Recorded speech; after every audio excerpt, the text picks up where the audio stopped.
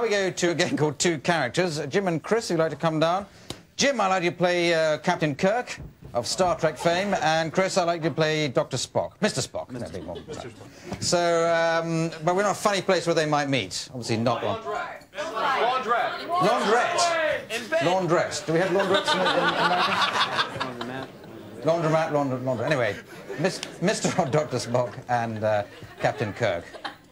Spock, that uh, irradiated sock has got to be around here somewhere. Uh, Captain, it would appear as though we have lost one half of the pair of socks. In other words, one of the socks is missing. Yes. Of course, one sock, Spock. Of course, I know that one sock is missing. That's why we came here. Perhaps in this dryer. Have you checked it out with your tricorder? I haven't yet, Captain. Well, don't let me stand in your way. Sounds like you've still got gnats in that tricorder. Good deal of suds still left in the washer, Captain. What do you think? What do you think? Is it radiated? Is it radiated? What do you think? This sock appears to be the sock we were missing. Of course, the sock of Pelatuna. yes, yes, this is the thing that is holding everybody in a state of perpetual war back on the planet.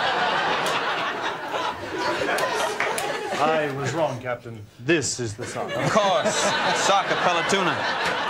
This is the sock that's holding everyone within a perpetual state of war. Don't tell me. Wrong again, Captain. Thank you very much.